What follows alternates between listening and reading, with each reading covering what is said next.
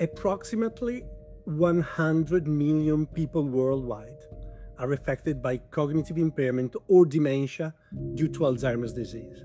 If Alzheimer's were a country, it would be the 16th most populous.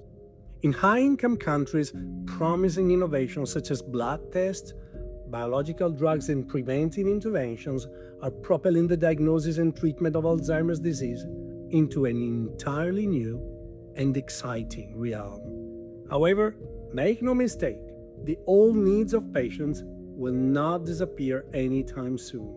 This series on Alzheimer's disease is based on the premise that patients will only be able to fully benefit from recent innovations if general practitioners and dementia specialists are fully proficient in the less spectacular but steady advances that the dementia specialist community has made over the past few decades in the care and treatment of behavioral disorders, in the use of diagnostic imaging and laboratory tools, and in psychosocial interventions. This series has the ambitious goal of leveling the playing field so that patients in all countries can benefit from current and future innovations. First paper focuses on diagnostics. Traditionally, dementia and Alzheimer's disease has been diagnosed based on syndromes. Um, the introduction of biomarkers already many years ago has stimulated a more biological concept of Alzheimer's disease, where biomarkers are used to determine the underlying biology of a cognitive syndrome. This has stimulated discussions around the pathway of care, how to identify a patient early, already at the stage uh, of primary care, and then how to transfer this patient to the memory clinic and what needs to be done in the memory clinic to come up with an etiological diagnosis which eventually qualifies for the right treatment.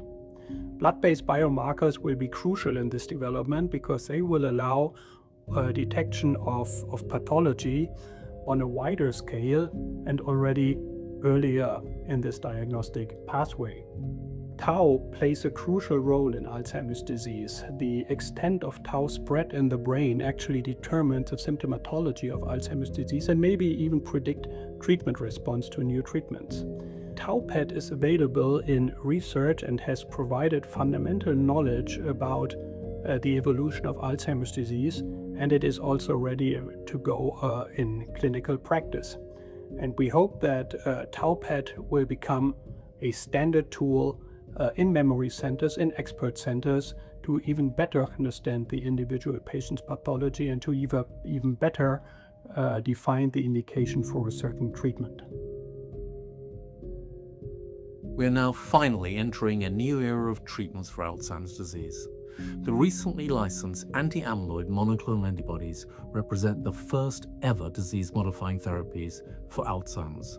Large, well-conducted trials have shown that these therapies slow the progression of early Alzheimer's disease by about a quarter to one-third, the equivalent of delaying cognitive and clinical decline by about four to six months over 18 months of treatment. And these therapies are therefore clearly not cures, but they're also not without side effects, the most important of which is ARIA, amyloid-related imaging abnormalities, which in the pivotal trials occurred in 12 to 24% of treated patients. Most resolve spontaneously or with treatment pauses, and most are asymptomatic, but they can be clinically serious and rarely even fatal. These therapies are also not without burden for patients and healthcare systems, as they currently require frequent intravenous infusions and regular MRI brain scans. Nonetheless, they do represent a major advance after years of failed treatments and trials, and hopefully these will be the first of many advances more effective, less burdensome, and safer therapies. These treatments are not a substitute for the wider management of patients with Alzheimer's disease that includes the use of symptomatic therapies that offer modest cognitive benefit. It also includes the hugely important management of non-cognitive symptoms, the behavioral and psychological symptoms that can be so distressing, but where there have been advances over the last decades. All of which needs to be part of the wider care, counselling and support of patients and families. This new era should also be a catalyst for earlier, more accurate diagnosis, and better care generally. And I hope an end to the therapeutic nihilism that all too often has been associated with dementia. Experts are still debating the very clinical construct of Alzheimer's disease, as the way we conceptualize the disease has profound implications for the use of monoclonal antibodies and for future preventive pharmacologic and non pharmacologic interventions. In the third paper of the series, we describe the three main approaches to the Alzheimer's conundrum. One centered on the disease itself and its biology, the second centered on patients and their needs, and the third centered on the population and the global quality of life of society at large. And we also highlight the common and the specific features of the three approaches that have the potential to contribute to decreasing the burden of the disease and the associated individual and societal suffering. Further, we offer a realistic appraisal of the clinical benefits of the new anti-amyloid monoclonal antibodies for Alzheimer's and claim their non-inferiority when compared to homologous drugs for cancer, multiple sclerosis, and rheumatoid arthritis. Whether society wishes to pay the associated costs is a political rather than a clinical discussion. And last, we address cutting edge prevention strategies that are being developed on persons without any cognitive or memory impairment, but at high risk for dementia, and outline the new brain health services and the new patient journey that is being developed in a number of clinical centers worldwide.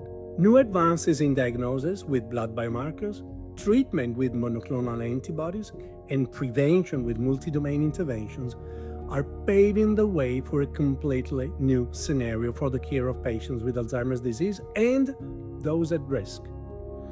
The authors of this series on Alzheimer's, published by The Lancet, believe that only a concerted and determined effort by the medical community and civil society together will enable our current and future patients to fully benefit from the potential of scientific and technological advances.